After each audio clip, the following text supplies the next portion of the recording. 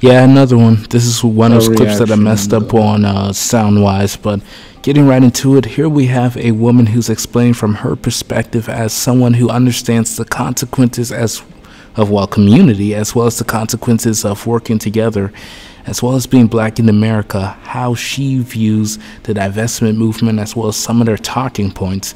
Now keep in mind it has been from from Ralph Richard Banks to Derrick Jackson, it has been utilized the black women's pain as well as victimization. And what people are constantly pointing out is not only how fake and false it is, but how it's an attempt to victimize yourself based off of honestly nothing.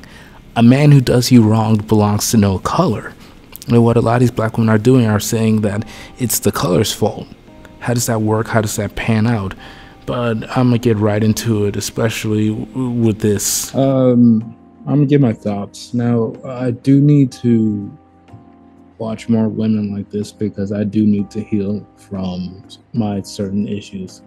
And it starts with minute you have problems. The reason why it's so hard for black men to admit that their problems is because you know, uh, most black women, especially who are toxic and especially in this divestment community, never have to deal with their problems. And when you get to the shelf life of it, when it comes to dating and how it works, the shelf life is, uh, for most women is 25, 30 years. And I'm talking after 18, obviously. Obviously. But after that, you know, they, they can buy and sell the goods and stuff like that. So some of them never have to deal with their trauma. They throw it out on the market and have fun. Some women decide to do that, but it's just like it's so rare and very rare to the point where we're getting exactly with what's going on. And here's the thing for me look, if I am be honest, it's not that I have a problem with being with a sister. It's not. In fact, I look at sisters as my sisters. But it's just like with families, you got to admit when family members are toxic. And there's so many toxic sisters that it's like, yo, I'm happy for the good brothers who get sisters, but there's none left over for me for real, for real. A half of these girls who are fives and six, they're waiting on eight, nines, and tens and stuff like that. And that's why at the, the end of the day, I realized a guy like me who I didn't become a millionaire right out of high school. I didn't get a thousand and I'm average. I'm like, I'm gonna have to date out they don't like this. You know, they they want success if you if you stay in or this and the other. And that's something I had to come to realize. But doesn't mean I like I don't like black women. Fuck no, no. But I get tired of them not dealing with their stuff and putting it on the men. You know, there are women like this who can admit it, and it is healing. It, but it's just like community wise, I'm looking at the community almost from the outside you're not really allowed to affect the community unless you're putting a ball in the hoop or running a field goal. Like the smaller works don't matter because the smaller men don't matter for real, for real. And that's something that we can obviously see. And that's not me speaking trauma. I know several men who have stepped up and decided to be stepdads and they don't get their flowers from older generations. And that's our community. That's our community being sacrificed and thrown down. So from me seeing that, witnessing that, I'm like, yo, look, I'm cool with y'all, but I, I know if I'm not a certain way, we ain't gonna vibe. And when you really do the number game, there are only so many black women who are really left over. So I'm like, yo, the brothers who they're on that level, go ahead, fine. You know, I'm I'm not even upset about it.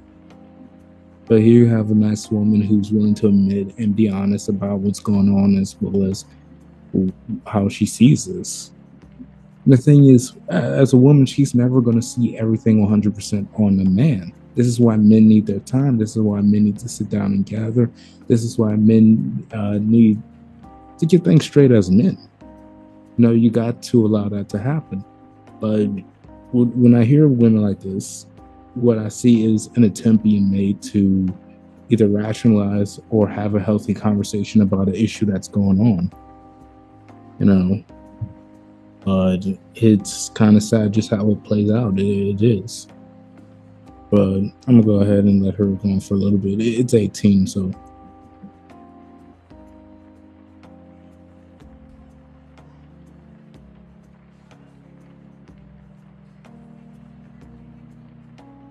Okay, this is what I keep hating when this comes up because this is stupid, actually. Yeah, well, black people are conservative anyway. We're conservative in lifestyle, not in the political thing. And that's the issue. They keep trying to cross the shit. What happens when you play with American conservatism? American conservatism is only supporting white people. It really does and it makes you fight for their way of life. Because in the previous one, in the previous one where I looked up, and there was a black, and there was there were there are plenty of cases of black people on the right because the right is supposed to be have everything shit. They're supposed to have their shit straight. There are plenty of black men on the right who have been screwed over and been just accused of things they didn't do. And they were either in the heart of these Republican states or they were Republican. So, yeah. But it's like they keep trying to say, oh, well, because conservatism in Africa is the same as conservative. No, it's not. You do conservative stuff here in America, it comes with that white nationalism with it.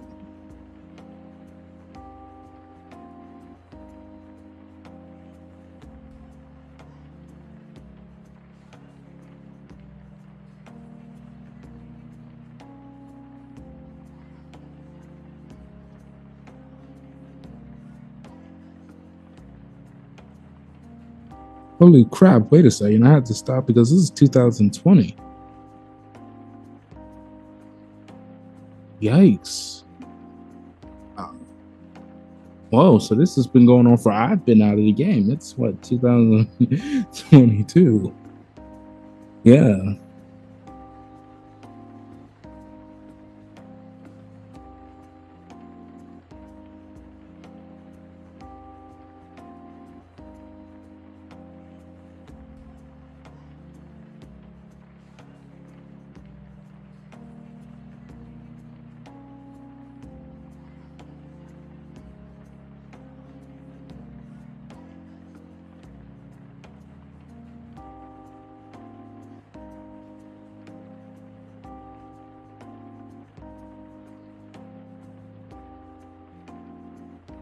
Okay, I do I do agree with that one. I've seen a few, and honestly, I'm gonna keep it real. In real life, I've seen black women praising white men for being racist. Yeah, it's actually pretty disturbing. It's different when they call you the N word in bed, and that's an intimate thing, and that's something you have to work out in bed. It's another thing when you're doing that out there and I'm not saying it's good for them to even say the N word, but I'm saying in general, you know, when when people are fucking and getting in, all sorts of words come out, and you got to work that out. You know, if you're if you're giving it to a girl good and she calls you the N word, you know, y'all got to figure that out. Uh, when it comes to stuff like that outside, that's a different story. Yeah, no,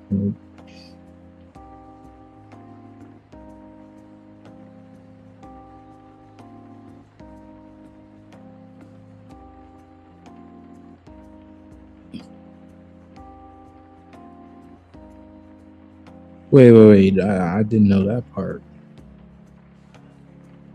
I'm hoping I'm recording sound correctly. It should be recording the sound correctly.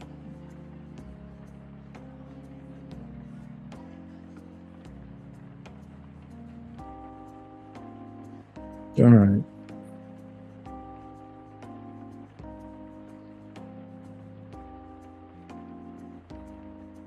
I'm not on her live, obviously. I'm not.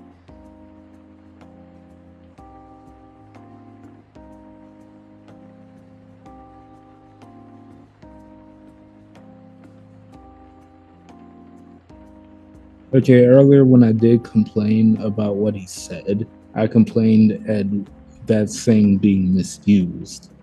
I didn't say whether he misused it or not. I'm saying I get tired of people misusing that uh, conservative way because like that's some PragerU stuff where they try to say, "Oh, you want your household to be run traditional? Then you're conservative." No, that's traditional, not conservative. And when you're conserving their ways, it's normally white. It's normally kill black people white because that's how they made money and the most money. look, even though that stuff's even there today, even with the redlining. It's a Netflix series I'm gonna react to.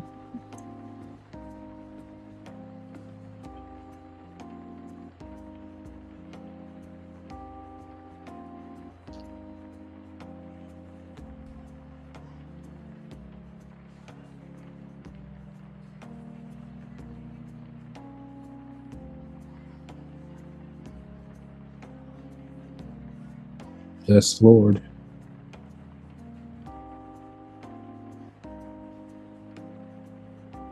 You see, I'm not getting that on my end.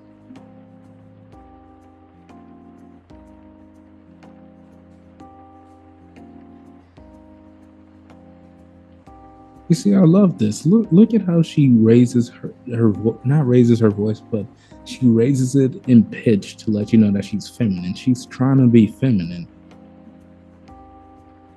Brother, you lucky. Better not cheat on her. You better not cheat on her. She's feminine. She tries to be feminine. Doesn't seem like she's trying to trick you into thinking she's feminine. And it's not just because she said something about the divest. I've been paying attention to a lot of it. She doesn't want you to see her bra straps. That's feminine. That's something that's feminine. Whoever got this chick, please treat her right. Like I know I'm not gonna get a chick like that, and I'm cool with it. I made my peace with that. Well, you know, please treat her right. But yeah, there are, and I need to do that more often. There are plenty of black women who are out there against this type of stuff. The issue for me is that if you, if I, if I put up the Shar Jackson video out, is that not only during the '90s when I grew up, there was already black women dating out but it was in media already. And that's the thing. They try to make it seem like it's not something that they don't do, when it's something that they've been doing. And again, we get probably one Sidney Poitier or one every uh, half a cent, half a century or whatever. But it, they're always written wrong. They're always written weird. It's always the writing style is always strange. Whenever they're written correctly, it's always bad. But whenever, again, Halle Berry comes to town or uh, someone decides to date out or the girl from Insecure does something, they praise it. And that is pretty strange. So, yeah. But I actually need to stop right quick. I need to check on whether it was recording the actual sound from YouTube. I'm gonna actually stop this right quick. Wish,